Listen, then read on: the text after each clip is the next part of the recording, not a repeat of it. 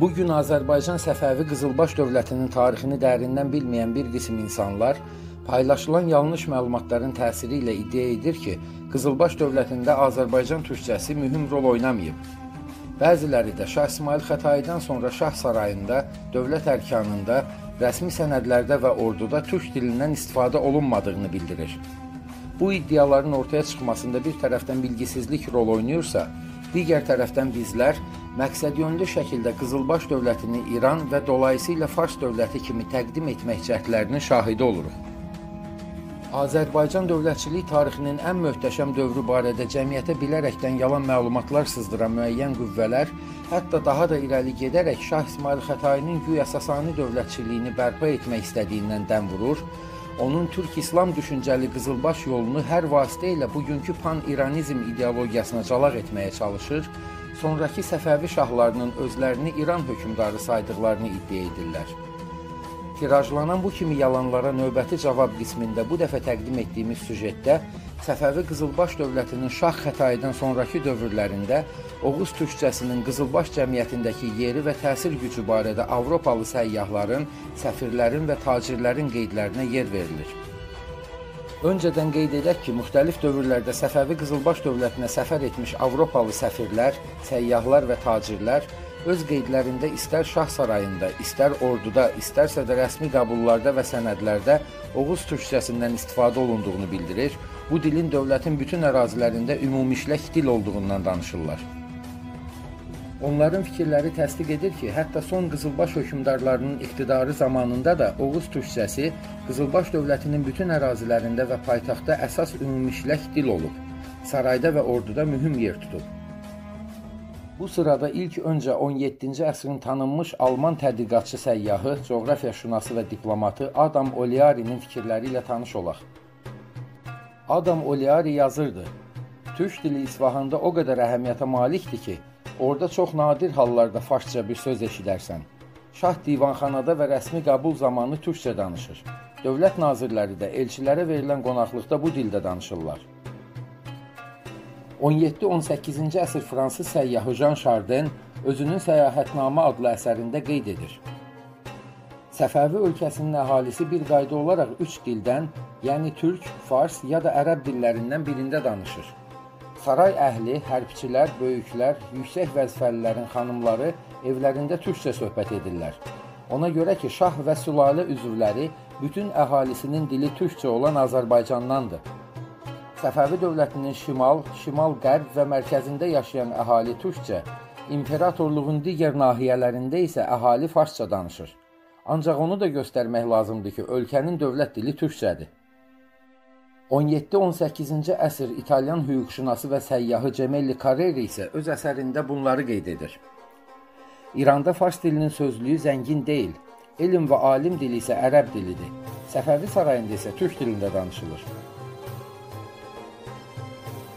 17-ci əsrin daha bir fransız taciri və səyyahı Jean-Baptiste Tavernier öz qeydlərində yazır ki, Səfəvi dövlətində saray adamlarının dili türkcədir.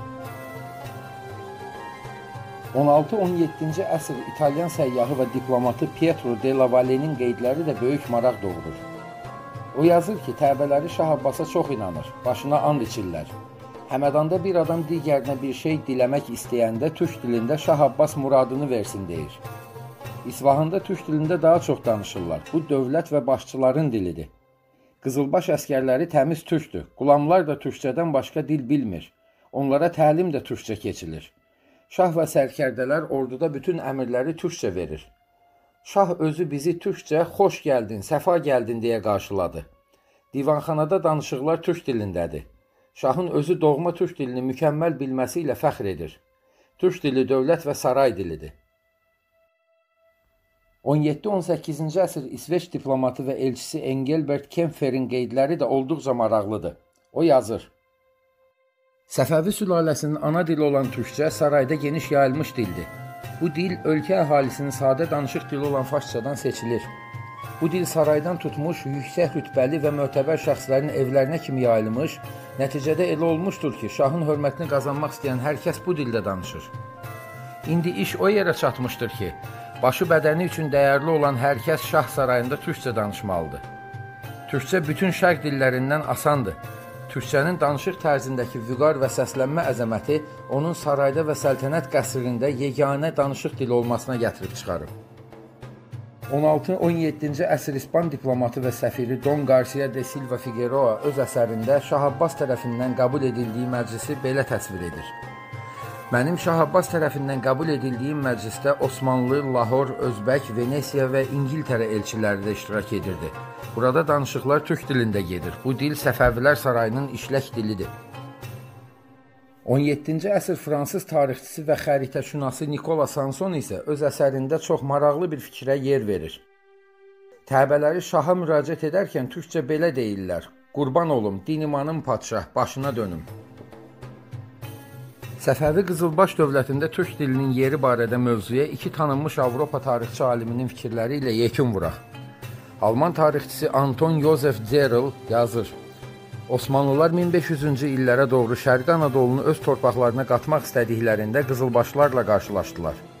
Şərqi Anadoludakı qızılbaşlara türkcə danışan Azərbaycanın Ərdəbil təkkəsindən nəzarət edilirdi. Yəni qızılbaşlar İran, Fars, Dərviş təriqətlərinə mənsub deyildilər. Zaten ibadət dilləri türkcə idi, dini şeirlərini də türkcə yazırdılar. Tanınmış Avropa tədqiqatçı alimi İrem Melikov isə bunları bildirir. Səfəvilər dövlətində türk dilinin hegemon roluna şübhə etmək əsla mümkün deyil. Bu dil Qızılbaş dövlətinin süqutuna kimi sarayın və ordunun əsas dili olmuşdur. Gördüyümüz kimi bəzilərinin iddialarının əksinə olaraq Səfəvi Qızılbaş dövlətinin bütün mövcudluğu dövründə Azərbaycan türkçəsi ümumiləşək dil olmaqdan əlavə həm də hakim mövqedə olub. İstər rəsmi yazışmalarda, ziyafət və qəbullarda, istərsə də sarayda, dövlət ərkanında və orduda istifadə edilib.